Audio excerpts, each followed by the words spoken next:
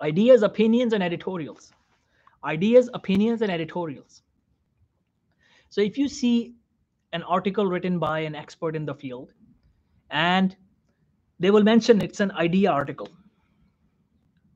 or it's an opinion article, it will be their opinion. That's number seven.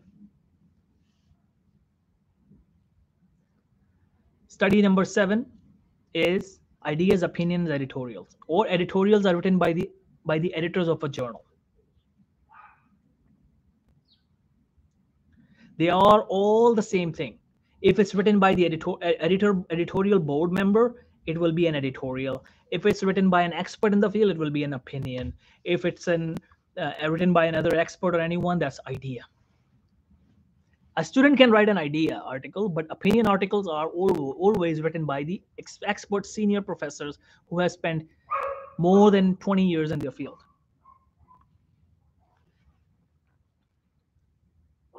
Or 10 years, or maybe in last five years, they have done tremendous amount of work that they have actually become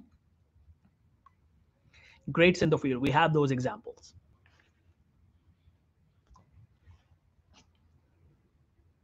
So ideas, opinions, editorial, they are study designs, but they are weak study designs. That's why they are at seven.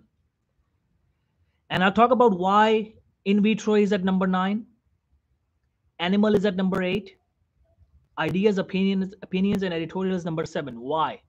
Remember, the study that is least relevant to human treatment will be at the bottom of the pyramid.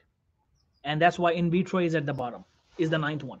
In vitro study is the ninth one.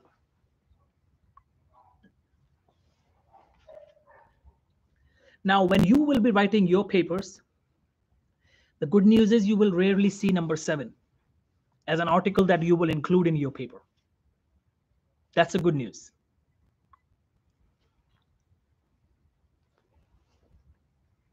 Now move to the next. Move to the next one. Number six, case reports and series. Case reports and case series. Number six, case reports and case series. I made a video on case reports. On how to write a case report. I hope everyone already saw that. That's on my YouTube channel. You guys should watch it so that you are capable of writing a case report. So number six is case reports and case series.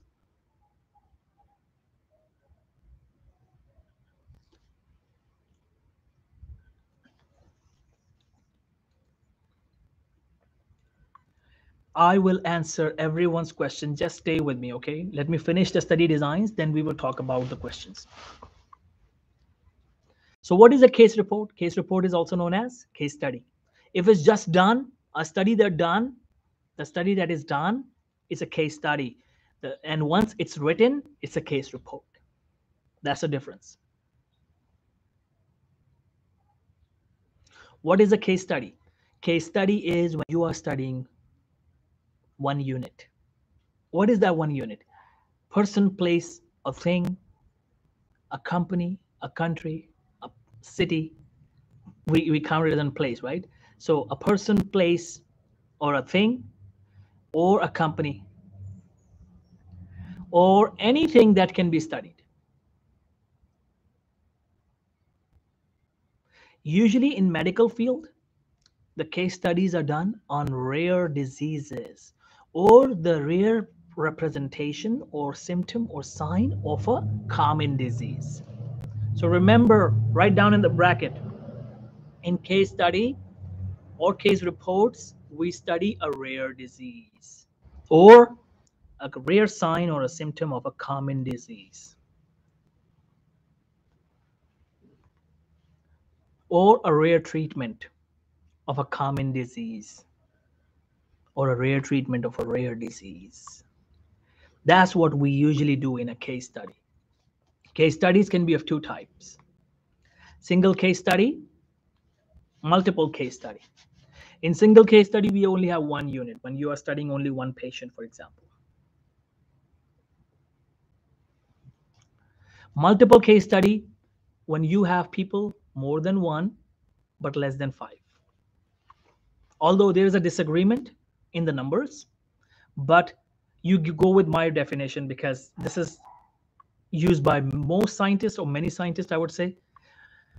The, there is a unanimous disagreement. Nobody has come to a conclusion how many patients should we have in a multiple case study. So just remember, four is a good number. From two to four. So in case study, what do we do? It's an observational kind of study. We just study what has happened, what happened to this person, this patient, or that thing, some unique features about it. And the hallmark feature of a case study is multiple sources of data. Multiple sources of data. This is important. You need to write it down in bold letters. The hallmark, the, the differentiation of case report with all other study designs is multiple sources of data you will not just rely on interviews. You will rely on interviews. You will rely on patient electronic medical records, the files and folders, the physician history. You will talk to the doc, the primary physician. I mean, you will talk to the family members. You will do whatever you can to collect information about that patient. You should have multiple sources of data.